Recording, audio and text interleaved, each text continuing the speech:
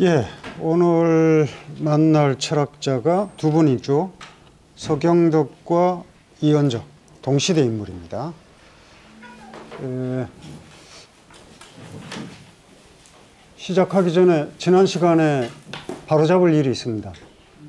그 저 제가 왕한석 이야기하면서 왕한석이 과거 시험을 칠때 어, 구양수가 자기 제자 그린 줄 알고 왕한석을 2등으로 미뤘다 이렇게 얘기를 했는데 그때 왕한석이 아니라 소동파 이야기라고 말씀하셨잖아요. 예. 그래서 제가 그걸 어, 미우라 쿠니오가 쓴 일본 학자인데요. 미우라 쿠니오가 쓴 일본 학자가 쓴 왕한석 평전이 있습니다.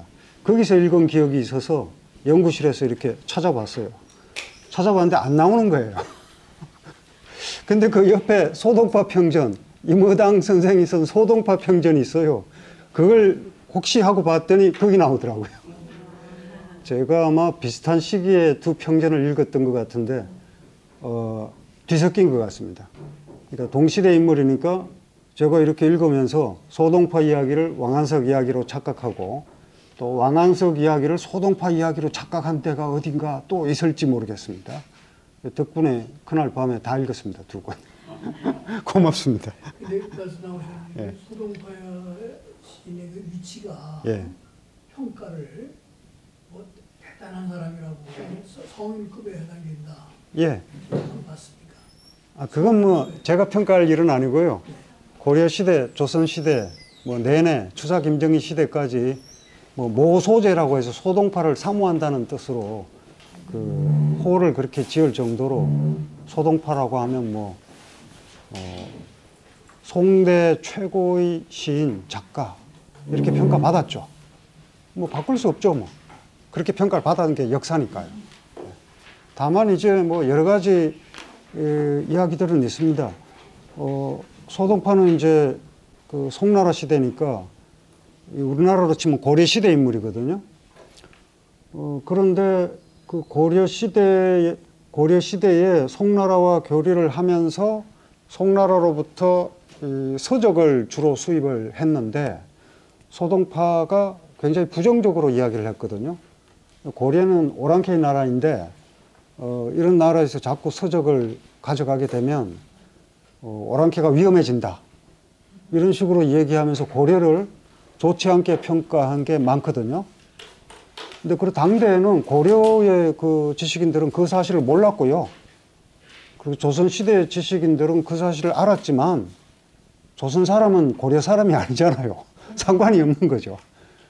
그 때문에 뭐 소동파의 명성이 흔들리거나 하진 않았습니다. 우리는 이제 고려인이자 동시에 조선인이자 한국인이기 때문에 소동파가 고려를 안 좋게 여겼다.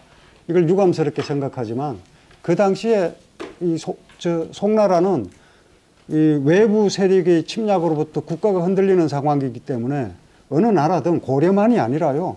주변의 모든 나라를 부정적으로 보죠. 뭐 침, 언제든지 침략해 올 수 있다. 이렇게 생각하기 때문에 그걸 뭐 우리가 쪼잔하게 그걸 마음속에 두고 소동파 평가를 낮출 필요는 없을 것 같습니다. 예. 에, 자, 서경덕 이야기로 들어가죠. 아마 이제 본격적으로 성리학으로 들어가는 그 관문입니다. 어, 서경덕은 아마 성리학자 중에서는 지금은 이제 뭐 가장 유명한 성리학자 하면 우리가 이제 이 집회에 나와 있는 퇴계 이광 선생이나 아니면 율곡 이 선생 이런 분들이 더 어, 친숙하지만 어, 실제 이제 그 조선 시대에 대중들에게 인지도가 어, 가장 높았던 사람이 누구냐 그러면 화담 서경덕이라고 할 수 있습니다. 왜냐하면 서경덕을 주인공으로 설화가 만들어지거든요. 그 설화가 책 한 권 분량이더라고요. 저도 이제 그 몇 년 전에 그 성대에서 뭐 동아시아 학술원인가 거기서 이제 서경덕을 주제로 논문을 발표한 적이 있는데 그때 문학 쪽에서 서경덕을 주인공으로 하는 설화를 분석해서 발표한 발표자가 있었거든요. 근데 그걸 보고 저도 깜짝 놀랐습니다. 서경덕이 그 정도로 이제 주로 이제 어떤 백성이 뭐 난관에 처했다든지 어려움에 처했을 때 이 서경덕이 나타나서 구해줘요. 그런데 서, 서경덕은 성리학자잖아요. 성리학자가 세상에 나와서 뭘 구해줄 수 있겠습니까? 그런데 서경덕은 거기서 도수를 발휘하는 어, 신비한 인물로 그려져 있습니다. 도수를 발휘해서 뭐 악귀를 물리치기도 하고 또 어, 재물을 생성하기도 하고 뭐 이런 식의 이야기들이 이제 절비하더라고요.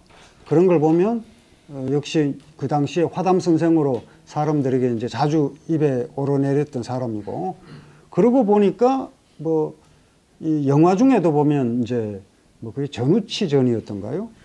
어, 전우치라는 영화가 있는데 거기 보면 화담이 또 어, 거기서는 악역으로 나옵니다. 전우치와 상대하는 악역으로 나와요. 주인공이 전우치니까. 그러니까 그런 식으로 이제 어, 설화가 가공돼서 영화가 나올 정도로 대중적 인지도가 상당히 높았던 인물입니다. 현대에서는 인지도가 뭐 다른 성리학자에 비해서 떨어지지만 전통적으로는 아마 가장 에, 인지도가 높았던 그 성리학계의 톱스타 이렇게 얘기할 수 있습니다. 그래서 송도 삼절이라고 하잖아요. 그 송도 삼절이라고 하는 것 자체가 이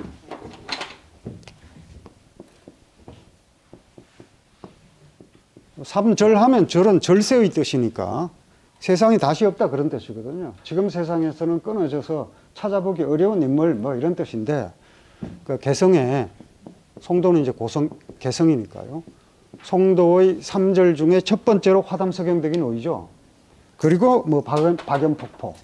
그리고 이제 누굽니까? 황진이 그러니까 뭐 그 당시 연예인 중에서 어 제일 그 유명한 연예인.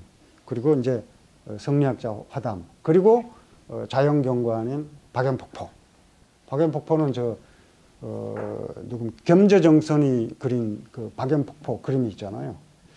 아, 정말 그 위에도 돌이 하나 있고 그 박연폭포 보면 위에 돌이 이렇게 하나 있고 또 밑에도 돌이 하나 있어요. 위로 이제 폭포가 이건 이제 엉터리 그림이고요. 눈 버리지 마시고 어쨌든 뭐 여기 이뭐 정자도 하나 있고 예, 이런 그림 보셨을 겁니다. 아, 한번 가서 보고 싶어요. 정말 저렇게 생겼는지. 아, 정말 저렇게 생겼을 겁니다. 아마 가서 보시면요. 혹시 가 보신 분 박연폭포 가보신 분 안 계신가요? 예, 귀동량이라도 좀 가고 싶은데. 저는 이제 그 어, 전통문화연구회라고 낙원상가에 있거든요. 거기서 그 강의하다가 쉬는 시간에 그 이제 옥상에서 이 청와대 쪽을 이렇게 바라보면 인왕산이 보이거든요. 그 인왕산이 그 보면 보이는 그 경관이요. 어, 그 앞에 뭐 백상 빌딩도 가로막고 있고 해서 완전하게 다 보이지는 않는데 거기서는 그래도 인왕산 어, 봉우리하고 그 기슭이 꽤잘 보입니다. 그걸 보면요. 겸재 정선이 그린 인왕 재색도 있죠. 재색은 이제 이 비계일 제자 써서 인왕산에 이 비가 개인 뒤에 물색 예, 그걸 그린 건데 그 저 모습이 거기 가서 보면 거의 아 참 예. 그래서 잘 들리셨나 봅니다. 예, 그, 그 모습이 그대로 보여요. 예, 제가 또 그림 그리지는 않겠습니다. 예, 그 거의 그대로예요. 그래서 제가 깜짝 놀랐던 게 원래 겸재 정선의 그 산수화는 진경 산수화라 그러잖아요. 참진자 써서 진경 산수화라고 하는데 이 사실 진경이라는 말은 실경이라는 말과 다릅니다. 실제 우리가 보는 저 사진 찍은 것처럼 이저 그리는 그런 그림이 아니거든요. 이 진이라고 하는 게 이제 가치 판단이 들어가 있는 거잖아요. 그러니까 금강산 전도 이런 거 보면 금강산 전체가 다 그려져 있죠. 실제로 보면 금강산 전체가 눈에 안 들어오잖아요. 금강산 각지를 돌아다니면서 다 종합해서 만든 게 이제 금강 어, 금강산 전도인데 이, 이거 저 인왕제색도는 보니까 똑같아요. 예, 딱 보니까 겸재정선이 그렸던 그 인왕산 모습과 제가 눈으로 보는 그 인왕산 모습하고 똑같더라고요. 그래서 아 진경산수화는 실경산수화를 바탕으로 만들어낸 것이구나 이런 차관이 그때 생겼습니다. 그 진경과 실, 실경은 다르지만 진경의 바탕이 실경이고 실경 모르고 진경은 성립할 수 없다 그런 생각을 한 적이 있는데요. 아마 박연폭포도 가면 예, 그런 장면이 보이지 않을까 상상만 하고 있습니다. 먼저 가봐야죠. 예, 이제 그 중에 하나가 이제 박연폭포, 그리고 이제 황진이. 뭐 황진이는 뭐 다 아시다시피 황진이와 관련된 설화의 주인공 중에 화담이 자주 등장하죠. 뭐 첫 번째 설화가 그거잖아요. 황진이가 그 당시에 어, 이를테면 금욕, 무욕 이런 쪽과 관련 있는 사람들을 유혹하잖아요. 불교에서 이제 지족선사. 지족선사란 말도 이제 이게 지족이라는 말 자체가 노자에 나오잖아요. 지족 불욕. 만족할 줄 알면 욕을 당하지 않는다. 지족자 부. 만족할 줄 아는 자가 부, 부유한 것이다. 뭐 이런 말이 이제 노자에 나오는데 거기서 지족을 따온 걸로 봐서 지족 선사도 뭐 완전히 정통 불교 승려는 아니었던 모양입니다. 뭐 한국 불교가 그렇잖아요. 도가와 불교가 이제 서로 이렇게 어, 뒤섞이면서 변화된 모습을 갖추는데 그런 인물이고 어쨌든 지족할 줄 알고 또 무욕. 불교에서는 무욕을 주장하잖아요. 유가는 이제 극기봉년데 불교는 무욕이란 말이에요. 욕망이 없다. 이걸 이제 화두로 제시하는 그런 인물들인데 황진이가 유혹했더니 유혹에 빠져버렸죠. 유혹에 보기 좋게 빠져버렸습니다. 그랬는데 화담은 성리학자인데 화담을 유혹했는데 실패했죠. 그리고 제자가 됐다. 뭐 이런 이야기들이 이제 전해오는 건 역시 이제 화담의 에, 그 당시 뭐 인기를 짐작하게 할 수도 있, 짐작하게 하기도 하고 또 이제 그만큼 어, 화담의 그 성리학이 당시 에, 다른 뭐 불교나 도가의 사상보다 우위에 있다. 에, 이런 의미를 그 설화가 담고 있다고 봐야 되겠죠. 뭐 그런 식의 그 설화가 굉장히 많이 유포되어 있을 정도니까 어, 당시의 그 명망을 짐작할 만합니다. 그리고 이제 화담은 이제 이 이제부터는 이제 성리학은 인간의 심성과 천리 또는 의리를 연구하는 학문이라고 말씀드린 적이 있는데 이때 리라고 하는 건 기와 상대가 되는 말이거든요. 어, 그런데 이제 이 이기론을 이해하는 게 뭐 사실 그렇게 어렵진 않습니다. 이게 사실은 유무 논쟁과 같아요. 리는 무예요. 그리고 기는 유예요. 유와 무가 유와 무 중에서 어떤 게 앞서느냐, 앞서냐, 어, 어떤 게 나, 먼저고 어떤 게 나중이냐는 논쟁과 관련이 돼 있고 이때 무라고 하는 게 정말 어, 진공 상태를 가리키는 무냐 아니면 그냥 형체가 없다는 이야기냐 여기서 이제 도가와 유가가 나눕니다. 유가는 이 참된 무 이런 건 없어요. 유의 세계인데 무형이 유리예요. 형체는 없지만 이치는 있다 이렇게 보는 쪽입니다. 그러니까 그러니까 주자학자들은 무를 인정하지 않습니다.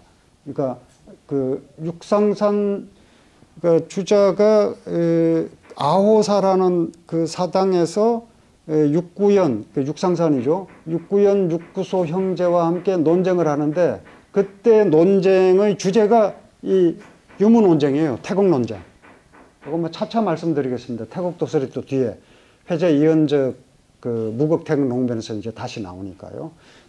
유무 논쟁인데 일단 우리가 눈으로 그러니까 눈이라고 하는 건 감각의 대표이기 때문에 눈으로 보이지 않으면서 동시에 만져지지도 않고 에, 뭐 에, 들리지도 않는 우리의 감각으로 포착할 수 없는 것 그게 리예요.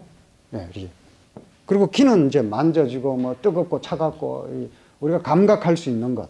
그리고 이제 에, 감각 이제 보이지는 않는다 하더라도 보이는 것으로 환원할 수 있으면 전부 기입니다. 그러니까 우리가 만나는 이 실, 실제의 이런 그 응용된 형태는 전부 기의 소산물이고 그렇다고 해서 이제 기 자체는 아니에요. 기가 응용된 형태일 뿐입니다. 나무니 뭐 쇠니 뭐 이런 것들요. 기가 응용된 형태이긴 하지만 어쨌든 어, 보이지 않고 들리지 않는다 하더라도 보이는 것과 들리는 것으로 환원할 수 있다면 그건 전부 이제 기의 세계가 되는 거예요. 그래서 사실은 주, 주자의 철학의 대부분은 기철학이에요, 대부분은. 그래서, 어, 이제, 뭐, 주자의 자연학이라는 말도 쓰고요.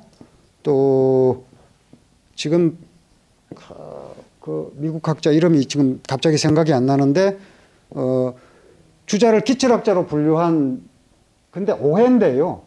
오해인데 어쨌든 주자를 기철학자로 분류한 연구소도 꽤 많습니다. 왜냐하면, 어, 현상 세계는 전부 기로 설명하기 때문에 우리는 이제 현상 세계를 중시하는 관점에서 보면 주자는 이 현상 세계를 전부 기로 설명하니까 기철학자가 되는 거죠. 그런데 주자는 리의 철학자거든요. 기 이전에 리가 있다는 거예요. 그러니까 기는 우리가 뭐 만지면 뭐 뜨겁기도 하고 차갑기도 하고 또 뭐 단단하기도 하고 무르기도 하고 뭐 높기도 하고 낮기도 하고 뭐 이런데 그런 모습으로 있게 해주는 원리가 리라는 겁니다. 그러니까 리선 기후예요. 리가 앞서 있고 기가 뒤에 있다. 그런데 이제 이게 입증될 수가 없는 게 우리는 리는 인식할 수 없고 기를 통해서만 인식할 수 있거든요. 그 입증이 안 되는 거죠. 논리만 그런 거예요. 그러니까 이런 논쟁은 뭐 서양에도 지금도 뭐 전개됩니다. 뭐죠. 지금 뭐 프랑스 철학자들 뭐 들레저 같은 경우도 유무 논쟁 여전히 있고요. 어, 그리고 어, 불교에서도 비슷한 논쟁이 있고요.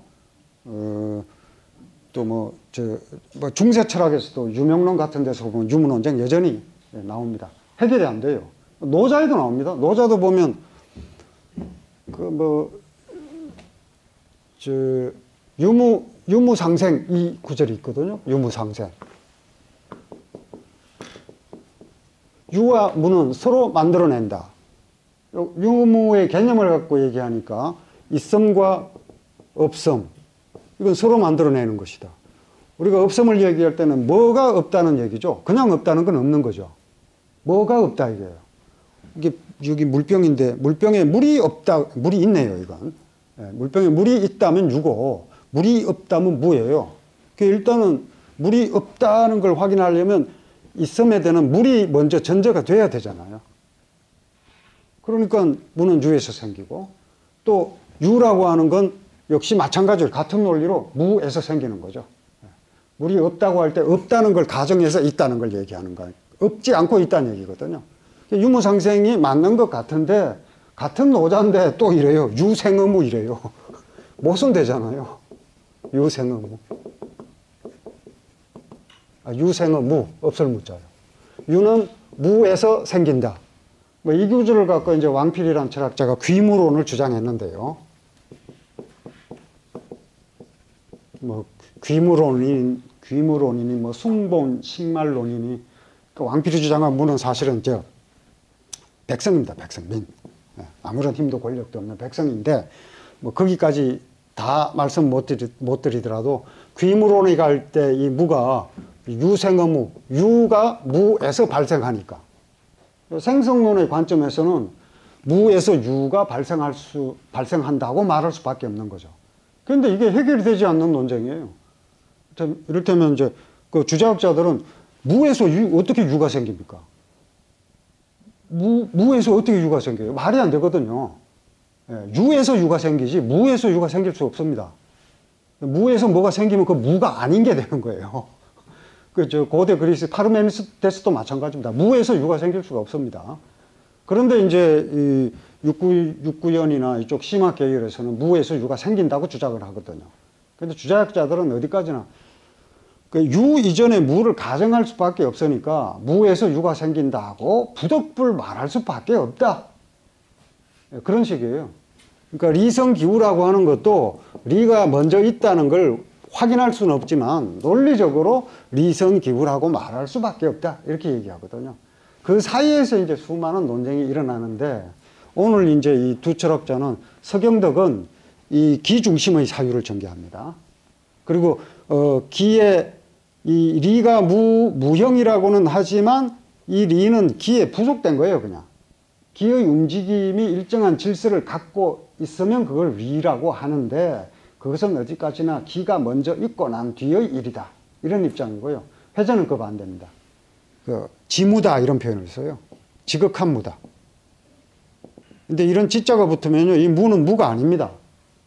유예요, 유. 예. 그래서 유무 논쟁할 때도 이를테면 무한, 무한 얘기, 무가 있고 무한이 또 있잖아요, 무한. 무한도 있고 또 뭐 무한정도 있고 뭐 여러 가지 개념이 복잡한데 무한으로 이제 축소시켜서 보면 이제 심화 계열 쪽은 무한은 그냥 한정이 없는 거예요, 그냥. 예. 그런데 이 주자 같은 경우에는 무한하다고 해봤자 유한의 확장이다. 우리가 측정할 이 벽 뒤에 뭔가 이 벽 뒤에 뭐가 있는지 알 수 없지만 뭔가 있긴 있을 것이다. 그리고 그 있는 것도 끝이 있을 것이다. 이렇게 얘기를 합니다. 우리가 측정할 수는 없지만 측정할 수 없다는 의미에서 무한일 뿐이지 정말 무한하다고 하는 건 있을 수 없다. 이런 식으로 얘기를 합니다. 유의 세계를 기준으로 얘기하니까요. 근데 이제 쉽게 얘기하면 기는 있는 거고 리는 없는 거예요. 근데 진짜 없는 게 아니라 리가 있는 거예요. 리가 있는 거. 이제 좀 어려워지는데 또 이야기 속으로 들어가 보겠습니다. 이걸 가지고 이제 계속 논쟁이 이어지는 거죠. 예, 앞쪽에 한번 보시죠. 뭐 제가 어, 제목을 줄 없는 검은고를 타다 이렇게 붙여놨는데 줄 없는 검은고를 어떻게 타죠? 검은고 줄이 있어야 타는데 이따가 시가 나옵니다. 어, 이제 방금 말씀드린 것처럼 어, 그 이기론의 관점에서 볼 때 화담 서경덕은 조선 시대에 복이 드문 기철학자입니다. 그래서 그 사유가 상당히 독창적이에요. 다른 성리학자들과는 다르게. 그 두 번째 문단 보시면요. 원래 이는 보이지 않는 건데 조선 성리학에서 리와 개의 관계를 서경덕처럼 설명한 사람이 없었고 이후의 개성자들은 있죠. 하지만 어, 그 서경덕이 그 처음을 장식했다고 할 수 있습니다. 그러면서 이제 길을 이야기하면서 도가적 요소까지 포괄해요. 이것도 또 특이한 겁니다. 성리학에서는 강력한 이단 의식이 있거든요. 도, 도가나 불교를 이단이라고 배척합니다. 그렇기 때문에 함부로 도가의 이론을 유가의 이론과 어, 섞기가 어려운데 화담은 그걸 잘 조화시켜서 섞어요. 물론 그렇다고 스스로 도가라고 이야기하지는 않는데 어, 도가의 분위기를 가져오는 것만은 사실입니다. 그건 잠시 후에 소개할 시를 읽어봐도 틀림없는 사실이고요. 제가 또 뭐 그 관련 논문도 쓴 게 있습니다. 어, 도가적 요소까지 포괄한 경우는 드물다. 그리고 이제 그 다음 문장을 보시면 성리학은 유가의 개성자인데 그 성리학의 세계관을 세밀하게 살펴보면 도가의 개성자이기도 하고 불교의 개성자이기도 합니다. 도가와 불교를 이단으로 비판하는 건요, 그 이론을 소화 흡수한 다음에 자기 이론을, 어, 그, 재무장하고 나서 현실 문제에서 비판해요. 출세간적이라고 비판하는 거죠. 도가든 불교든. 유가는 현실에 뿌리를 내리고 있는 그 착실성을 기반으로 도가 불가를 이단으로 배척했지만 그 이론 중에서 가장 중요한 두 가지를 가져와요. 도가의 우주론과 불교의 인생론입니다. 우주론은 뭐냐면 만물이 어디에서 시작됐느냐 이런 질문은 그 노노 노노맹자 이런 데 나오지 않습니다. 노노맹자는 일단 기본적으로 정치 철학이기 때문에요. 이 우주가 어떻게 구성되어 있고 이런 데 관심이 없어요. 예, 관심이 없습니다. 노자는 거기에 관심이 있죠. 그래서 뭐 도생일, 일생이, 이생삼, 삼생만물, 뭐 도가 하나를 낳고 하나가 둘 낳고 뭐 둘이 셋을 낳고 어, 셋이 에, 저 만물을 낳는다. 이런 식을 이런 식으로 얘기하기도 하고 뭐 도가 사라진 뒤에 덕이 나오고 덕이 사라진 뒤에 인이 나오고 인이 사라진 뒤에 의, 의가 나온다 이런 식으로 어, 이야기하기도 하고요. 방금 말씀드린 만물은 어, 유해 만물 생어유 유생어무 만물은 유에서 생겨나고 유는 무에서 생겨났다 이런 식의 전개가 노자나 또 장자에 나오거든요. 유가에는 없어요. 본래 그 유가의 선진 유가라고 하는 진나라 이전 시대 원시 유학에서는 그런 주장 없습니다. 왜? 그건 지금 문제거리가 아니에요. 만물이 어떻게 구성되어 있고 뭐 이 우주가 어디서 생겼고 이건 중요한 주제가 아니고 당장 이 혼란스러운 이 세상을 어떻게 바로잡을 것인가. 인의 예지 이렇게 나오는 거죠. 그러니까 사회적 가치 규범을 세우는 뭐 이른바 노모스를 세우는 쪽이 유가입니다. 그걸 비판하는 쪽이 이제 도, 도가만 비판하는 게 아니라 뭐다 비판하죠. 다 비판하지만 어쨌든 어, 관심사의 차이가 유가 철학은 철저하게 정치 철학 쪽으로 만들어 저, 구성되어 가도록 한 거죠. 그런데 이게 이제 천지 개벽이 일어나는 게 성리학입니다. 기존의 육아 이론만 육아 이론의 정통성을 그대로 둔 상태에서 끌어들이는 거예요. 사실은 발생이 우리 성리학 하면 북송의 주렴계부터 시작한다 그러는데 주렴계 주돈이죠, 주돈이. 렴계에서 강학했다고 해서 렴계 선생이라 그러는데 이름은 주돈이죠. 주돈이가 태극 도서를 그리고 썼단 말이에요. 태극 도를 그리고 거기에다가 해설을 붙인 겁니다. 거기에 나오는 게 무극이 태극이거든요. 무극이 태극 이렇게 나오니까 이건 무고, 이건 유고 이렇게 되는 겁니다. 그런데 이게 둘이 같은 거냐 다른 거냐를 갖고 또 논쟁이 일어납니다. 그건 나중에 기회가 되면 아, 저 회제 이연적 할 때 그 일부 소개가 될 겁니다. 이렇게 이제 시작됐는데 태극도는 그럼 어디서 나왔느냐? 도가에서 나온 겁니다, 원래. 예. 그 규봉 규봉 종미를 비롯한 도가의 문헌에서 가져온 거예요. 그리고 또 인생론은 저 불교에서 가져오고요. 유교는 이제 극기봉례 이러면 끝나요. 극기봉례가 안 돼서 그렇지. 극기봉례를 하면 기를 이긴다. 이때 기는 좋은 기일 수가 없죠. 나, 나를 이긴다. 극복해야 할 나죠. 그래서 사욕입니다.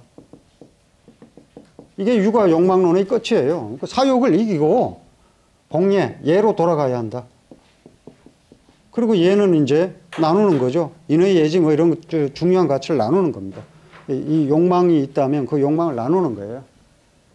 그래서 이 사욕을 어, 기가 사욕이라면 얘는 공욕이다 뭐 이런 식으로 또 얘기한 게 에, 저 명나라 때 이타고거든요. 이타고요. 이타고인데 어, 그걸 또 왕부지가 비판합니다. 공자가 붙으면 욕자가 붙을 자리가 없다. 공자가 붙은데 어떻게 욕이냐 그게. 그래서 어, 유 유공리 무공욕이라.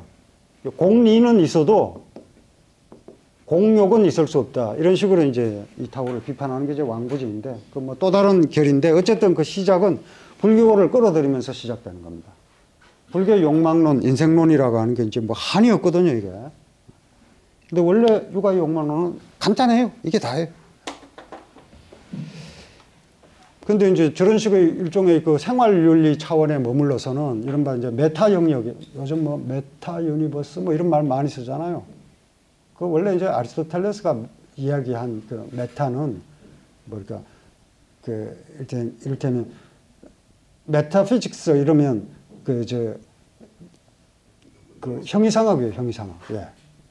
그이 개념 이론 논쟁이에요 이론 논쟁.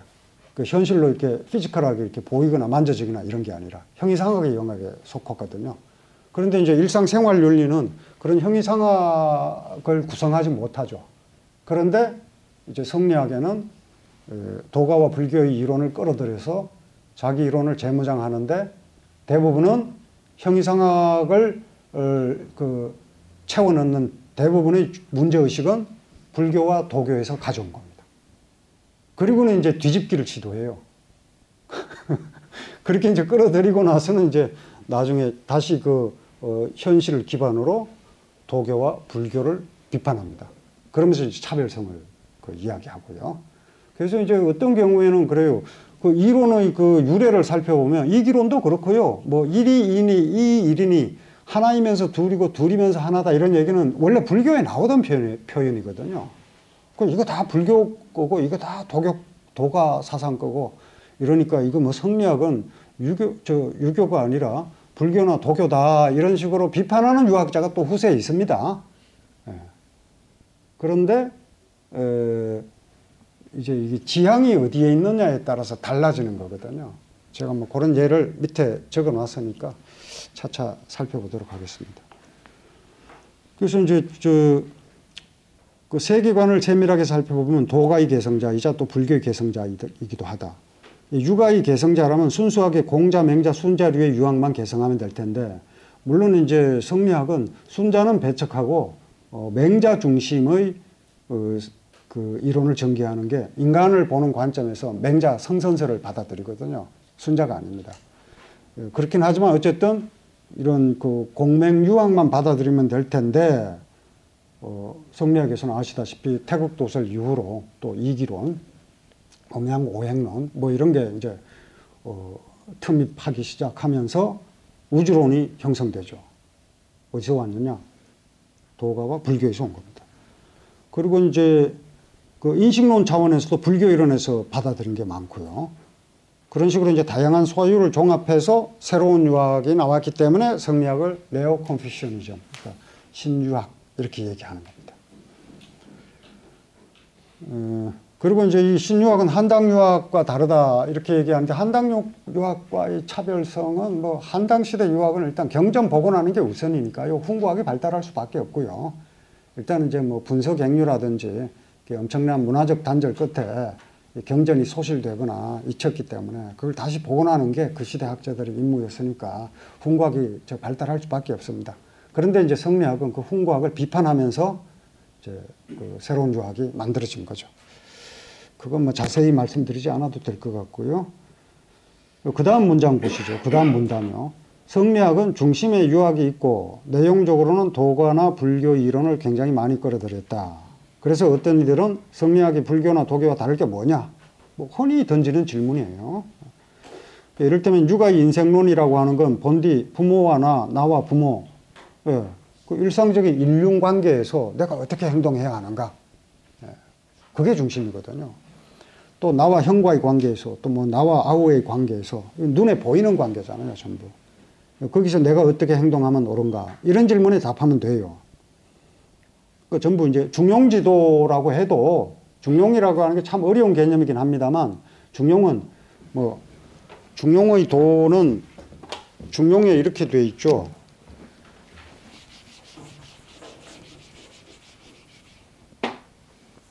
도야자는 그 중용에서 도 그러면 중용의 도입니다. 이거는 도라고 하는 것은 중용의 도라고 하는 것은 불가 수율이 아니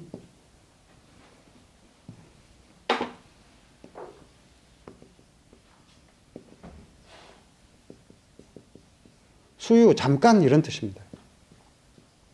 수유는 이제 하루에 30분의 1이거든요.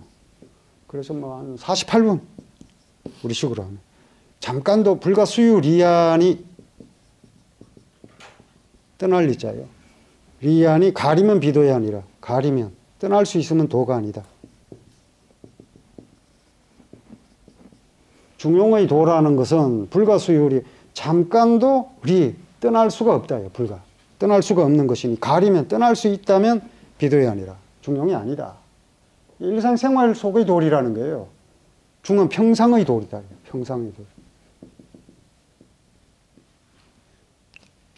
이게 이제 육아 이론의 그 이제 사서에 나오는 육아 이론의 극한이라고 할 수 있는데 이제 불교와 도교를 끌어들이면서 이제 변모하는 거죠. 일상생활 속의 윤리에서 메타 윤리학으로 가는 거죠. 뭐 착하게 살아라 여기서 끝나는 게 아니라 어떻게 사는 게 착한 것이냐 막 이렇게 따지고 캐묻기 시작한 거죠. 에, 뭐이 질문도 이런 식이에요. 그 일상생활 속의 도리가 무엇인가? 이게 육아의 가장 중요한 질문인데 부모의 부모의 부모는 누구인가? 이런 식으로 이제 근원적인 질문은 던지지 않습니다. 딱 이제 그 어떤 마땅한 도리가 있다 그러면 그렇게 행동하는 것이 옳다는 근거가 있을 거 아니에요. 그리고 또 근거가 타당하다는 것은 또 다른 근거에 의해서 뒷받침되는 것이고 그런 식으로 이제 그 파, 저 캐묻다 보면 뭐 끝, 끝없죠. 달과, 달과 어, 달걀의 논쟁처럼요. 그 끝에 이제 천, 하늘 천자 이게 딱 있는 거죠. 그러니까 도지대원 추로천, 도의 가장 큰 근원은 하늘에서 나왔다. 거기서 질문이 통하지 않는 영역입니다. 그렇게 딱 끊는 거예요. 그러니까 일상생활 속의 도리를 이, 이 뭐랄까요. 뭐 자연천이면서 인격천이면서 도덕의 근거가 되는 천에 의해서 뭐 차단한다고 할까? 일단 그 이상의 논쟁을 하지 않는 게 육아인데 이제 성리학에서는 거기까지 이제 다 따지기 시작합니다. 어, 본래는 육아에서는 없었던 겁니다. 음, 그래서 육아의 도는 일상생활 속의 도리고 어, 도가의 도는 뭐 아까 말씀드린 뭐 유생업 유생업부터 시작해서 여기서는 도생일, 일생이, 이생물, 삼생, 만물 도가 하나를 낳고 하나가 둘을 낳고 둘이 셋을 낳고 셋이 만물을 낳는다. 이것도 뭐 도가 하나를 낳고 뭐 어, 하나가 둘을 낳고 둘이 셋을 낳고 셋이 넷을 낳고 넷이 다섯을 낳고 이렇게 갈 필요는 없겠죠. 어? 그러니까 육아에서 말하는 생활 속의 생활 속의 도 중용 이거하고 도가에서 이야기하는 도, 만물, 만물의 근원, 사물의 근원인 도, 이것과는 완전히 다른 거죠. 그런데 그런 도가의 내용을 받아들이기 시작한 게 성리학이다. 그 성리학은 이제 우주가 어떻게 탄생했는가부터 시작하는 거죠. 그리고 인생론에 대해서도 불교식으로 질문을 던집니다. 뭐 제가 방금 말씀드린 것처럼 해야 하는가 하지 말아야 하는가 이런 고민을 할 때 마땅한 하지 말아야 할 마땅한 이유가 없다면 해, 해도 되고 하지 말아야 할 마땅한 이유가 있다면 하면 안 된다. 여기서 끝나요. 이게 극기복례고요. 어, 그런데 그러니까 결국 유학은 욕망을 어떻게 조절할 것인가, 조절하고 통제할 것인가 이런 질문을 던지지 그 욕망의 근원이 어디에 있는가 이런 질문을 던지지 않아요. 던지지 않았어요. 그런데 이제 성리학에서 던지기 시작했다. 예, 일단 뭐 불교에서 이제 쭉 끌어들이는데 그 정도로 정리를 하고요. 어, 그리고 쭉 넘어가셔서 화담 화담 얘기로 들어가죠. 화담은 드물게 이렇게 시작되는 문단이 있죠. 보시죠. 화담은 드물게 회제 이현적 같은 철학자와 상반된 길을 걸었다. 그래서 회, 화담은 평생 출사하지 않습니다. 배설길에 나아가지 않아요. 그런데 회전은 일찌감치 뭐 과거 시험 봐서 급제하고 배설길에 나아가죠. 완전히 다른 길을 갔어요. 어, 화담은 뭐 그 과거 시험을 본 적은 있습니다. 사마시에 급제는 하는데 이제 어머니가 권고해서 자격은 갖추어야 되지 않겠느냐. 그래서 이제 급제는 하는데 어, 역시 배설길에 나아가진 않고요. 그리고 이제 에, 당시에 이런 분위기가 일어나게 된 까닭이 있습니다. 이렇게 성리학자들이 은거의 길을 택하게 된 까닭은 이 당시부터 이제 서서히 사화가 일어나기 시작하거든요. 뭐 무어 사원이 그 갑자 사원이 을사 사원이 기묘 사원이 뭐막막 막 일어나기 시작합니다. 그러니까 사실 그 뭐 성현의 그 기록에 보면 성학을 배우는 것이 화라는 씨, 씨앗이 됐다. 이 성학 배우는 거는 성인의 학문인데 이 성인의 학문은 공맹의 유학이고 공맹의 유학을 개성한 게 이제 성리학이잖아요. 그런데 성리학은 이제 특징이 뭐냐면 그 이전까지의 유학은요 그냥 그 권력자의 문서 수발관 정도 역할입니다. 권력자의 자문에 응하는 정도의 하수인 역할이었어요. 그러는데 이제 성리학자 때부터 직접 정치에 참여하려고 합니다. 완전히 이제 또 이게 천지개벽이죠. 직접 정치에 참여하려고 하거든요. 그러니까 그 비록 신하라 하더라도 군주를 움직이는 직접적인 역할을 수행하려고 하기 때문에 이제 위계적으로도 많이 바뀌어요. 그 전까지는 이제 귀족, 혈연 중심의 귀족 정이었다면 귀족 중심, 극소수. 근데 이제 독서 사대부 계층이 이제 전면에 등장하기 시작하는 거죠. 그리고 이제 기존에 성현의 그 말씀을 암송하는 데 그치지 않고 내가 직접 정, 정치에 참여한다는 그런 포부를 가졌기 때문에 전부 이제 이 성악을 배워서 배설길에 나아가는 거죠. 그런데 중앙에 있던 공신 세력하고 충돌해서 희생을 당하게 되는 거죠. 그러니까 결국 성악을 배운 것이 화란의 씨앗이 되고 맙니다, 실제로. 그렇게 되니까 출사하지 않고 초야에 응가하는 지식인들이 많아져요. 근데 그 중에 대표자가 이제 그럴수록 또 존경받고 그 중에 대표자가 이제 이 화담 서경덕을 비롯해서 뭐 뒤에 나옵니다만 대곡 성운 이저 성운이라는 유학자가 있거든요. 그리고 저 남명 조식 뭐 나중에 따로 또 한 시간 남명 조식을 살펴볼 겁니다. 그 이런 선비들하고 같이 화담 서경덕이 삼처사 이렇게 불렸거든요. 삼처사. 처사다. 근데 처사는 본래는 저 좋은 의미가 아니에요. 맹자의 처사라는 말이 처음 나오는데 이건 자격 없는 선비 뭐 이런 뜻입니다. 처. 조정에 나아가서 관직을 갖고 백성을 다스릴 권한을 가진 사람이 아니라 무자격자인 거예요. 그런 의미로 쓰였는데 스스로 그 하려고 했는데 안 된 사람이 아니라 스스로 처사가 된 사람들. 그러니까 벼슬 하고 싶은데 못해서 처사가 된 게 아니라 벼슬 할 수 있는데도 처사로 남는 사람들. 이게 이제 조선시대 처사들이거든요. 그래서 조선시대에는 처사라는 말이 굉장히 높은 호칭이 됐습니다. 나중에 이제, 어, 퇴계 이왕이 세상을 떠나기 전에 내 무덤에 다른 묘조명 같은 건 쓰지 말고 어, 태도 많은 이공지묘라고만 써라. 나는 처사다. 뭐 이렇게 얘기를 하니까 그 남명이 그걸 또 비판하거든요. 뭐 대제학도 하고 대사성도 하고 할 거 다 했으면서 무슨 처사냐. 처사 내가 처사지. 난 아무것도 안 했으니까. 이런 식으로 이제 뭐 반은 농이 섞인 에, 그런 지적을 하기도 합니다. 뭐 그런 의미에서 어쨌든 이 처사는 어, 굉장히 높은 그 호칭으로 쓰인 거죠. 화담이 이제 그 첫 번째를 장식했어요. 그런데 회제는 이제 벼슬길에 나아가서 일정한 역할을 하죠. 에, 그렇게 되니까 잘한 점은 또 평가받지만 못한 점은 또 비판받기도 하고요. 상반된 길을 걸었다. 이현적 같은 경우는 망제 송숙동과 망기당 조한보 사이에 벌어졌던 이게 이제 20대에 일어난 논쟁인데요. 그 당시 뭐 이미 40, 50 넘은 노학자들과 논쟁을 해서 그 자기 논쟁도 아니고 자기 그, 그 외숙 외숙부인 그 망제 손숙돈이 에, 망기단 조한보라는 학자와 무극태극 논쟁을 벌이는데 그 거를 해제 이현적이 입수해서 봐요. 그걸 보고 그 두 논쟁이 두, 두 학자의 견해가 다 틀렸다고 비판하면서 이제 확전이 됩니다. 확전이 되는데 최후의 성자가 이 저 뭡니까 그러니까 망제 손숙돈도 그렇고 그 외숙부도 그렇고 저 조한보도 그렇고 모두 이 회제 이현적의 주장에 승복하는 일이 일어납니다. 요즘 같으면 일어나지 않겠죠. 요즘 절대 그런 거 인정 안 하죠. 뭐이 당시는 뭐, 이, 저, 고봉 기대성이 스물여덟 살 때, 에, 저, 이미 50이 넘었던 퇴계하고 논쟁을 하는 그런 시대였고요. 그 당시에도 드물었죠. 요즘 뭐 찾아볼 수 없습니다.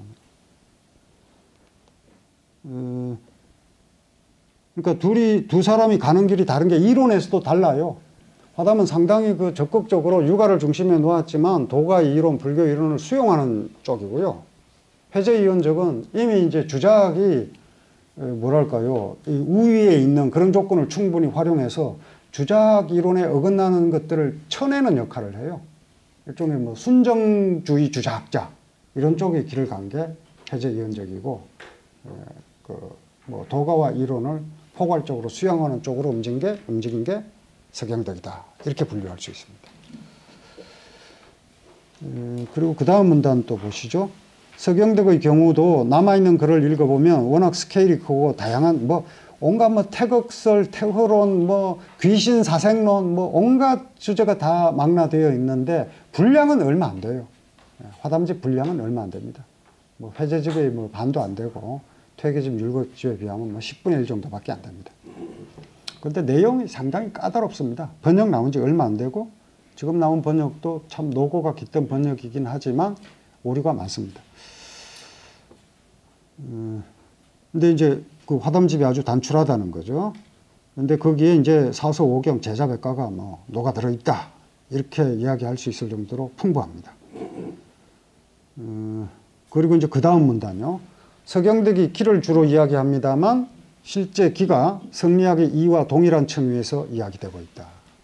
그러니까 이후에 리, 리의 철학자라고 분류할 수 있는 사람들이 에, 저 그 회제 이현적 그리고 이 퇴계 이황 이런 계열이거든요.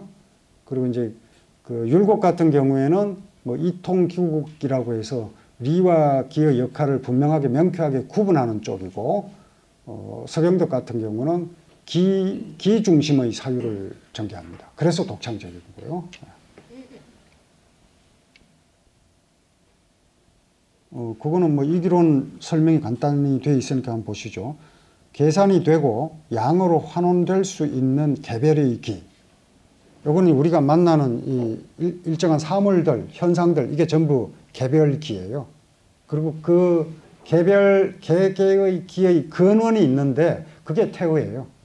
화담에게는. 그 정리를 보시죠.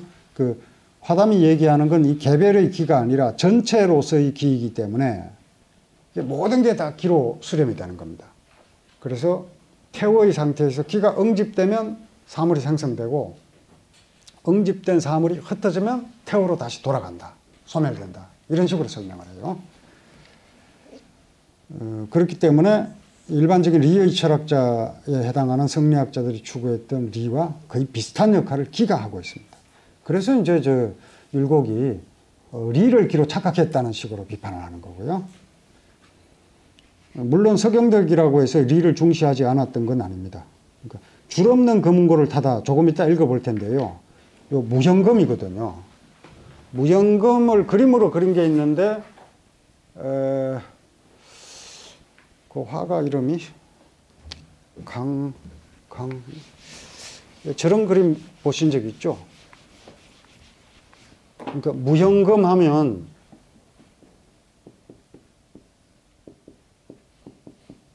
혀는 검은 곳 줄이죠, 줄. 뭐 악기의 줄이죠. 그 그냥 실도 되고요.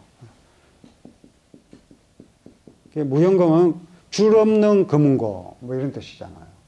근데 줄 없는 검은고를 어, 그린 그림이 있는데 제가 지금 정확한 제목을 뭐 이렇게, 족자가 돼 있고 여기 달이 떠 있고 여기 뭐 이렇게 산기슭이 보이고 여기 선비한 사람이 이렇게 앉아 있고 여기 동자가 찬물 끓이고 있고 여기 검은고가 이렇게 있어요. 근데 줄이 없어요.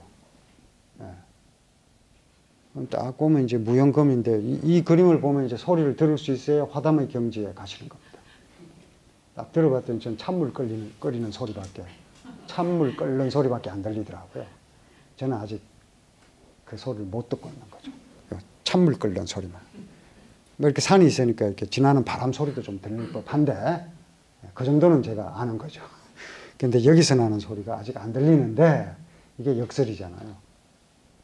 사실은 이제 교교히 떠 있는 달 그리고 이 산 산에 있는 뭐 바람 소리, 뭐 찬물 끓는 소리 이런 게 음악이라고 얘기하는 거거든요. 뭐 비슷한 아이디어가 이제 현대에도 있습니다.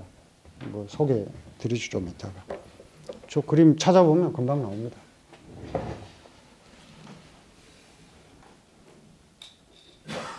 무형검, 무형검명. 이제 줄이 없다는 건 이제 리에 가까운 거죠. 어, 그리고 이제 화담의 그 주요 이론 중에서 주자의 경물치지론이 있는데 그것도 어, 그 예를 통해서 충분히 쉽게 이해할 수 있습니다. 그 어떻게 보면은 그냥 그 가만히 앉아서 이제 만물을 다 살피는 거죠. 가만히 앉았어요. 그 이론가는 이렇게 그 뭐랄까요? 칸트도 그렇잖아요. 저거 칸트 예를 적어놨죠. 칸트가 뭐 어, 세상 그 시간과 공간 전체를 사유하는데 뭐 오래 살긴 했습니다만 80세, 81세 뭐 이렇게 살았죠. 1724년생이니까요. 에, 근데 1805년에 세상을 떠났나요? 어, 근데 이제 어, 뭐 돌아다닌 게 별로 없어요. 그 저 전기에 따르면 칸트는 괴니스베르크에서 150km 넘어 간 적이 없다. 뭐 이렇게 돼 있습니다. 근데 그 확실한 건 아닙니다. 확실한 건 아니에요. 아니, 아니라는 그 미약한 근거들이 있긴 한데, 그래봤자 어, 한두 차례에 지나지 않을 겁니다. 빈에서 강의를 했다는, 제가 그 베토벤 평전을 읽다 보니까 그 베토벤이 칸트의 강의를 들으러 빈으로 가려고 한 그 메모지가 그 메이너드 솔로몬 베토벤 평전, 루트비히 판 베토벤이라고 있어요. 거기 나오더라고요. 그 메모가. 그 만약에 칸트가 갔다면 그 거기 빈 대학에서 강연하는 계획이 있었던 거죠. 갔다면 뭐 괴니스 베르크하고 뭐 비는 뭐 수천 킬로, 천 킬로 정도 되니까 예. 갔다면 벗어난 적이 있었을 텐데 그래봤자 뭐 한두 차례니까 거의 뭐 그 우물한 개구리였죠 칸트는. 근데 칸, 누가 칸트를 우물한 개구리라고 하겠습니까? 영구 평화론까지 이야기를 하는데요. 그 사유의 힘이죠. 물론 이제 칸트가 교류한 그 수많은 사람들이 전해준 세계에 관한 광범위한 지식이 있었지만요. 어, 일단 그 인용구를 한번 보시죠. 천기라는 시가 있는데요. 벽에 하도 낙서를 붙여놓고 하도 낙서는 이제 주역의 근, 근거가 되는 도판인데요. 벽에 하도 낙서를 붙여놓고 3년 만에 휘장을 내렸다. 그 이제 화담 서경들이 벽에 저 어떤 사물을 궁구할 때는 벽에 이렇게 붙여놓고 3년 계속 궁구를 하는 거예요. 경물 취지를 하는 거예요. 그걸 깨달을 때까지 계속 궁구를 하다가 깨달으면 내리는 겁니다. 그 내용입니다. 하도 낙서를 붙여놓고 3년 만에 휘장을 내렸다. 혼돈의 시작을 그슬로 생각해 보니 이 혼돈이라고 하는 건 뭐 동서양 다 마찬가지죠. 장자에 나오는 혼돈은 질서 이전의 세계죠. 이저 질서라고 하는 거는 차례잖아요. 규칙이고 이 코스모스죠. 그 이전에 뭐가 있냐? 혼돈이다 이거예요. 뭐 혼돈은 이렇게 쓰기도 하고 뭐 이렇게 쓰기도 하고요. 다 같은 건데요. 혼돈. 근데 이 질서 이전의 세계가 혼돈인데 이걸 이제 카오스라고 그러잖아요. 과연 어, 떤게 먼저냐? 이 참 골치 아픈 문제입니다. 예, 질서 없다 그러면 질서가 먼저잖아요, 사실. 우리가 혼돈의 세계를 규정할 때 질서 없는 세계다 하면은 이미 질서에 기대에 있기 때문에 이 혼돈이 사실은 코스모스에서 나온 것일 수 있습니다. 카오스가요. 그런데 어쨌든 어, 카오스라는 용어를 만들어내는 사람은 코스모스를 개념으로 먼저 생각을 하지만 코스모스 이전이 카오스다 이렇게 얘기를 하죠. 근데 여기까지 이제 그것을 사유하는 거예요. 사유하는 거. 그러니까 물리학자들이 뭐 사상의 지평, 사건의 지평 이전을 연구하는 건 물리학적 방법을 통해서고 이건 사유를 통해서 접근하는 거죠. 이 혼돈의 이 혼돈의 시작, 만물의 시작. 그때는 뭐 일체의 뭐 흑백의 구분도 없고 뭐 시비 차별도 없고 뭐 예. 그 시작을 지각도 없다. 예. 그 시작을 거슬러 생각해 보니 음양오행을 누가 발휘했던가? 혼돈 다음에 음양오행이라고 하는 질서가 생겼는데 그걸 누가 만들었냐? 변화가 일어나는 곳마다 환하게 천기를 보니 천기는 뭐 하늘의 기밀이죠. 우주 자연의 질서를 보니 태일이 동정을 주관하네. 태일이 맨 처음의 하나. 태일. 맨 처음의 하나인데 이 하나는 곧 전체를 의미하거든요. 불교에서 나온 이론이기도 하고요. 태일이 동정을 주관하네. 그 동정은 둘이잖아요. 태일은 하나고요. 하나가 둘로 나뉘었다. 뭐가 자연이 그렇게 나뉘었을까요? 아마 우리 사유가 그런 식으로 구분한 걸까요? 만물은 각기 형체를 이루니 흩어져 온 세상에 가득하다. 만물은 다양한 모습으로 온 세상에 널리 퍼져 있죠. 어, 꽃과 풀은 절로 풀, 붉고 푸르고 뭐 꽃이 이 푸른 저 뭐 나무가 있고 붉은 꽃이 있다고 할 때 그 붉은 꽃은 왜 붉고 푸른 푸른 왜 푸른가? 화담은 리가 따로 있어서 푸르게 해주고 붉게 해준 것이 아니라 저절로 그렇다 이렇게 얘기합니다. 그 새, 그러니까 꽃과 풀은 절로 푸르고 절로 이게 중요한 거예요. 그렇게 새와 짐승은 스스로 달리고 예. 누가 시킨 줄 알 수 없다네. 그 누가 시킨 사람 따로 없고 저절로 그렇게 돼 있다. 이게 리인 거예요. 그러니까 리는 어, 푸르고 어, 붉고 또 뭐 달리고 어, 날아다니는 걸 보고 부차적으로 알아낸 거예요. 기가 먼저다 이렇게 되는 거죠. 어, 이해가 좀 안 되는 부분들이 있을 수 있는데 또 다음에 비슷한 얘기가 나오니까 계속 한번 보죠. 그 다음 문, 그 다음 문단은 뭐 해설입니다. 어, 서경덕이 문 닫아 걸고 경무한, 경물 공부하는 내용이죠. 3년 동안 그냥 계속 하는 거예요. 그, 이런 식의 경물 취지는 주자의 인식론에서 나왔는데요. 만물을 계속 궁구하는 거죠. 만물을 계속 연구하다 보면 어느 날, 뭐 지난번에 말씀드린 적이 있는데 하나하나 이제 공부를 하다 보면 어느 날 가, 아침에 갑자기 활용관통한다. 이렇게 얘기를 하는데 이걸 비판한 게 이제 왕양명이거든요. 내가 그렇게 공부를 해 봤는데 어느 날 갑자기 활용 관통하기는 커녕 두통만 생기고 정신 착란이 일어나서 귀신만 보이더라. 이 학문 방법이 틀렸다. 그 얘가 이제 그 그래 그러면 내가 주자처럼 만물을 연구해야 되겠다. 뭐부터 할까? 대나무부터 하자 이래 가지고요. 친구를 데리고 우리 대나무를 한번 응시하면서 공부를 하자. 이렇게 된 거예요. 그래서 친구하고 같이 했는데 친구는 3일 만에 도망가 버리고 3일 오래 버틴 거죠. 왕양명은 뭐 7일인가를 버텼는데 마지막에 정신착란이 일어나가지고 마- 대나무를 알기는커녕 나만 망가졌다 이렇게 된 거예요. 그래서 주자의 항문 방법론이 틀렸다 그랬는데 3년 했어야죠. 3년. 화담은 3년을 한 거죠. 그러니까 저런 식으로 알미라고 하는 걸 당장 뭐 저 눈앞에 있는 사물의 이치를 궁구한다고 해서 막 용맹정진 분투 막 이렇게 적군을 물리치듯이 막 달려들어서는 안 되는 거예요. 밥 먹을 거 먹고 잠잘 거 다 자고 하면서 공부를 해야 되는 게 주작이고요. 왕양맹처럼 막 용맹정진해서 막 달려들 알미란 건 그런 거잖아요. 그런다고 해결되는 게 아니죠. 암기는 될까 모르겠습니다. 하루 공부가.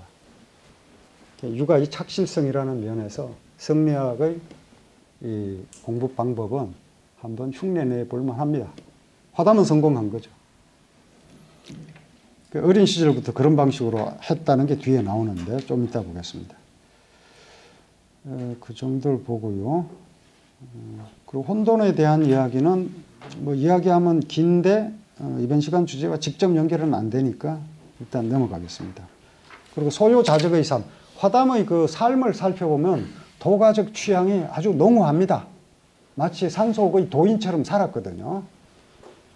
어, 거기 소요자적의 삶에 나온 내용은 대부분 아까 말씀드렸네요. 넘어가겠습니다. 그리고 삼처사로 이름을 얻었다. 이것도 이제 제가 대곡성은 남명 조식과 함께 삼처사로 이름을 얻었다. 그 대곡성운의 제자 임재 임재 얘기는 뭐 재미있으니까 한번 읽어보시고요. 황진이 묘소를 지나면서 제사를 지냈다가 평양 감사에서 쫓겨난 쫓겨났다기보다 욕 먹으니까 그냥 던져버렸어요. 어찌 기 사대부가 어찌 기생의 무덤에 제사를 지내냐 이러니까 그냥 관직을 관두어 버렸습니다. 음, 쭉쭉 넘어가서 도가적 취향에 도가적 취향이라고 제목이 붙어 있고 거기 시 나오죠. 산 거 산에 산다 뭐 이런 뜻입니다. 인용문 보시죠. 그 뭐 화담 일초려 이렇게 나오는 부분인데 화담의 풀로 엮은 집 한 채, 물 뿌리며 소재하니 신선의 거처로구나. 물 뿌리며 소재한다. 이건 유학의 그 가장 최소 응대 진, 진퇴지절 소학의 내용입니다. 물 뿌리면서 소재를 하는 신선의 거처로구나. 소재하는 방법을 좀그 훈련, 청소하고 소재하는 방법을 훈련할 필요가 있는 것 같은데요. 요즘 이제 뭐 제가 이제 종종 학생들한테 얘기하거든요. 가면 깨끗하거든요. 깨끗하잖아요. 책상이 왜 이렇게 깨끗할까? 우리 강의실이 왜 이렇게 깨끗할까? 학생들이 이러등절 뭔 소리를 하려는 깨끗하면 누군가가 청소를 해서 닦고 쓸고 했으니까 깨끗한 거다. 근데 이제 그 시간대가 다르니까 안 보이는 거죠. 그래서 그런 사람을 유령 취급하면 안 되겠죠. 근데 이제 이렇게 그, 그걸 해봐야 그걸 알 텐데 요즘 말이죠. 그렇지 않잖아요. 너는 공, 학업에만 전념해라. 소학이 완전히 사라져 버렸잖아요. 너는 학, 오로지 학업에만 전념해라. 넌 청소할 필요도 없고, 딴 거 아무, 아무것도 신경 쓸 필요 없고, 그냥 오직 공부만 해라. 그러니까 공부가 망가지죠. 이- 이거 세소부터 물 뿌리고 소재하는 것부터 시작해야 되는데 안 하잖아요. 어, 그남 탓이 아니라 제 탓입니다. 저도 우리 애들 청소 안 해요. 아주 그냥 뼈 아픕니다. 청소하는 법을 가르쳤어야 하는 건데. 그 삼봉우리 문을 열면 눈앞에 있고 이렇게 돼 있는데 거기 원문이 산촉 개헌면이라 이렇게 돼 있죠. 산촉 개헌면이라. 산촉 어, 촉이 참 재밌죠. 삼봉우리 이런 뜻인데 이게 이마라는 뜻도 되거든요. 삼촉 개헌면 개헌 헌은 이제 이제 그 이 문 중에 왜 이렇게 들어 올리는 문 있잖아요. 왜 옛날 한옥 가면 이렇게 여름이 되면 완전히 들어 올려서 문이 아예 없어지죠. 이렇게 올라가 붙어 버리는 거. 그게 헌이거든요. 근데 이게 산봉우리가 어, 얼, 개헌 어, 헌문을 열면 면 그 눈앞에 있네 뭐 이런 뜻인데 저는 요거 보니까 저 정지용 시인의 시 있잖아요. 어, 문 열자 선뜻 먼 산이 먼 산이 이마에 차라. 그거 보고 이 여기서 나온 거 아닌가 싶어요. 문 딱 열면 먼 산이 딱 이마에 딱 그냥 딱 보이는 거죠. 그 정말 정물적이죠. 탁 와닿습니다. 뭐 산, 산 속에서 그냥 인간인지 산인지 그냥 예, 중유 소유자 그 가운데 소유하는 사람이 있으니 소유는 뭐 장자 소유유패는 제목이기도 하고 또 소유가 가장 중요한 개념 중에 하나죠. 소유, 방황, 무의, 친화 뭐 이런 것들요. 청조호 독서라 그러니까 막 섞여 있어요. 쇠소, 응대 뭐 이러면 육하고 신선 뭐 이건 도가고 어, 산촉 개음면 하면 뭐 산을 마치 신체 일부인 것처럼 받아들이고 중유 소유자 이러면 또 도가고 청조 호 독서 이런 것도 육하고 예. 이렇게 자연스럽게 어울리는 삶을 살았고 또 이제 자기 집 뒤에 이 화담이 있었는데 그 못 이름을 따서 화담이라고 했고요. 이런 데서 이제 분명한 도가적 취향이 보이는데 회제 이현적과는 상당히 다릅니다. 회제 이현적은 저기 그 동락당이라고 해서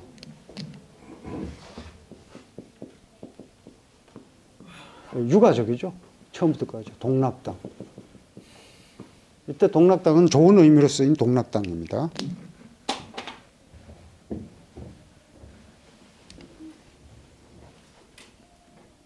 그리고 후세의 평가 참고로 한번 읽어보시고요. 어, 그러니까 이제 그 화담의 대, 저 저거는 저기 뭐 소개를 할 만합니다. 율곡이가 화담의 화담은 독창적인 맛이 있고 자득점이가 있고, 그러니까 누가 가르쳐 주거나 어떤 책에서 보고 어, 만들어낸 게 아니라 그 베낀 것이 아니라 자기 스스로 창안한 그런 이론이 있고, 그 퇴계는 다 의양짐이라 퇴계는 그와 견줄 때 퇴계는 주자에 의지한 어, 맛이 많다. 의양지 미 만미자를 썼거든요. 그 주자의 이론에 대부분 의지해서 자기 이론을 전개했다. 이런 식으로 평가를 하는데 어, 퇴계가 주자의 주장에 의지했다는 건 겉으로 표면만 그렇고요. 실제로는 아닙니다. 실제로는 아니고 다만 여기서 화담을 독창적으로 평가한 것만은 어, 지적할 만합니다. 예. 뭐그 화담의 독창성을 높이 평가한 거죠. 근데 이것도 좀 복잡하게 따지면요. 독창적이라는 게 꼭 요즘 우리가 생각하는 것처럼 좋은 뜻으로만 쓴 것은 아닙니다. 성현의 학설과 거리가 있다 이런 식으로 약간 그 배척하는 의도도 있거든요. 예. 참고하시고요. 그리고 경물치지 공부하는 예를 한번 보시죠. 그뭐 내용이 워낙 기니까 일부만 제가 어, 쭉그 투철한 격치 공부하면 경물치지인데요. 경물치지 자체를 설명하지는 않겠습니다. 이또 너무 어, 길어요. 일단 그래도 간단히 정리를 하면 경물이라고 할 때는 요 격 자체의 뜻을 그 주자와 왕영망은 완전히 완전히 다르게 봐요. 경물 하면 주자는 격을 지 이르다 나아가다 이런 뜻으로 봅니다. 그 물은 뭐냐면 주자에게는 대부분 사예요. 사근 물건이 있고 사건이 있는데 물과 물의 관계를 규정하는 사건 부모와 나, 뭐 자식과 나, 뭐 아내와 나, 형제와 나 이런 게 이제 전부 사거든요. 그 사건 속에 지 나아가서 치지 지 알물 나의 알물 치 극진히 한다. 전부 규범론이에요. 그러니까 부모와 자식의 관계에서 어떤 도리를 실천해야 맞는지 알려면 부모하고 같이 있어야 되는 겁니다. 없는 데서는 성립이 안 돼요. 형제도 마찬가지고. 실제로 그런 상황에 자신을 놓아야 비로소 마땅한 도리가 뭔지 알게 된다는 거예요. 생각만으로는 안 되고. 그런 관점이 이제 일종의 경물치지인데 이걸 자연, 자연에도 적용을 시켜서 그 자연의 사물을 이해하려면 그 자, 자연의 사물에게 자연 사물에 격 나아가야 한다. 이런 식으로 이제 주장을 하는데 그걸 이제 왕양명이 시도했다가 실패했다 그랬잖아요. 근데 화담은 이제 어린 시절에 이런 일화가 있으니까 한번 살펴보시죠. 그 왕양명은 이 경물을 완전히 격은 바로 잡는다, 정리하라. 바로 잡는다는 뜻으로 봐요. 사물을 바로 잡는다, 이렇게 봅니다. 완전히 달라요.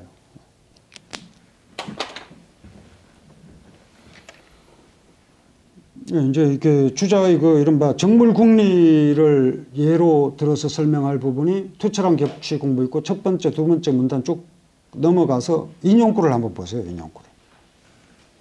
화담은 집안이 아주 가난했다. 이렇게 되어 있는 대목이에요. 화담은 집안이 아주 가난했다. 어린 시절 부모가 봄이 되면 논밭에 가서 나무를 캐오게 했는데 이 화담이 매일 늦게 돌아오는 거예요. 그리고 뭐 뜯은 나물 또한 많지 않아요. 광주리에 차지 않았던 거죠. 그래서 부모가 이상하게 여겨서 너 왜 이러냐 이렇게 물었더니 대답을 나무를 캐고 있는데 새 한 마리가 날고 또 날았습니다. 오늘은 땅과 1촌 정도 떨어지고 다음날 2촌이 되었습니다. 또 그 다음날이 되니 세치 정도 되었습니다. 조금씩 위를 향해 더 높이 나니 저는 이 새가 나는 것을 보고서 가만히 그 이치를 생각해 봤지만 어째서 그런지 알 수 없었습니다. 그 새가 나, 종달새가 나는데 날마다 조금씩 조금씩 더 높이 날더라 이거예요. 그 왜 그런지 이치를 생각해 봤는데 몰라서 그 생각하다가 늦었다 이런 얘기예요. 그이 때문에 매일 늦게 돌아온 것입니다. 나물 또한 그래서 광주리에 차지 않았습니다. 그리고 이제 풀이가 나오는데 그 새의 속명은 종종조, 그 종달새라고 하는데 봄이 되면 지기가 위로 올라가기 때문에 이 당시 이제 해설인 거죠.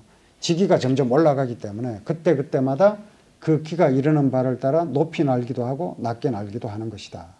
화담이 이치를 궁구하는 힘이 여기에 근원하고 있으니 기이하다. 이런 식으로 이제 남계 박세체, 남계집에 이제 기록된 내용입니다. 사실 뭐 새가 나는 현상을 직접 관찰하는 건 뭐 우리가 이제 과학적 관찰에 가깝지만 그 다음에 이 풀이는 과학과 거리가 있죠.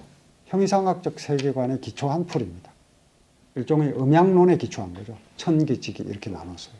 근데 그게 이제 그 당시로서는 에, 뭐 어느 정도 공인되는 그런 주장이었던 거죠.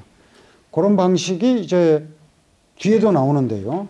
그 거기까지 소개하기가 힘들 것 같아서 에, 저 온천변이 있거든요. 또 온천변.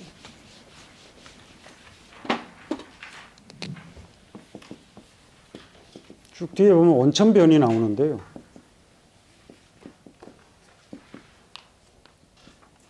온천이라고 하는 게 당시의 음양, 음양론 또는 이기론의 관점에 볼 때 아주 설명되지 않는 자연의 기현상 중에 하나예요. 왜냐하면 이제 화담이 뭐라고 얘기를 하냐면 불은 뜨겁고 화열, 불은 뜨겁고 물은 수한, 물은 차가운 것이 자연의 이치인데 온천은 물인데 뜨겁다. 이걸 어떻게 이해해야 할까?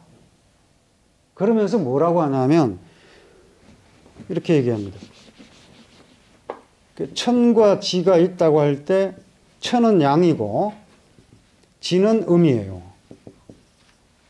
그리고 이제 양은 뜨겁고 양은 뭐 뜨거울 뿐이 아니라 뜨겁고 가볍고 뭐 높고 또 음은 차갑고 어, 또 낮고 어, 또 무르고 이게 단단하다면요.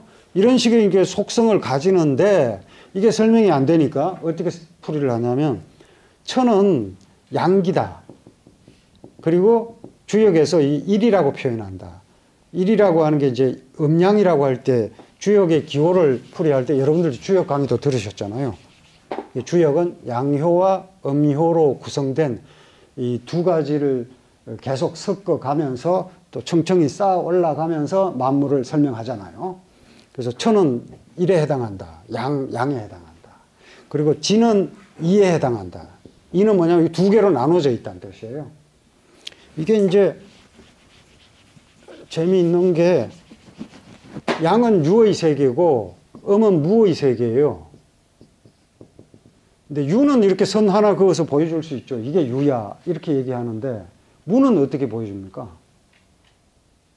선 하나 그어서 유라고 한다면 무는 뭐 어떻게 그어야 돼요?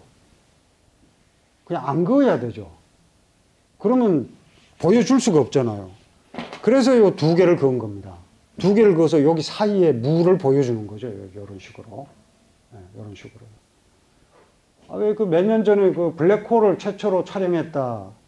이래서 이제 우주 물리학계가 뭐 난리가 났는데, 같은 겁니다. 블랙홀이라고 촬영했는데, 우리가 본 영상은, 요, 요게 다죠, 요게. 요 가운데는 시커멓고 요 바깥은 밝고 요 블랙홀의 영상이잖아요. 블랙홀이 실제로 그렇게 생겼을까요? 불가능합니다. 왜냐하면 블랙홀은 빛까지 비치고 전파고 뭐고 모든 걸 빨아들이기 때문에 보이지를 않아요. 보이지 않는 블랙홀을 어떻게 보이게 해줍니까? 그 자체가 논리 모순입니다. 그래서 과학자들이 요 사건의 지평 이 바깥 이 바깥은 보이거든요. 그걸 찍은 거예요. 사건의 지평 바깥을 찍었는데 요 안은 이제 새까맣죠. 이거 안 보이니까. 그래서 블랙홀을 찍었다고 이야기를 한 겁니다. 요 가- 같은 아이디어죠. 같은 아이디어. 이렇게 그, 그어서 이 사이에 보이지 않는 걸 무로 보여주는 거죠.